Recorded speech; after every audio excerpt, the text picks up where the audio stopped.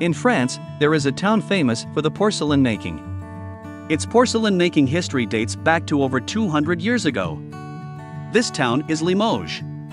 A Frenchman named Père d'Entrecolles went all the way to Jingdezhen, China, to learn how to make porcelain for almost 10 years, and sent back to France the techniques on porcelain making through correspondence.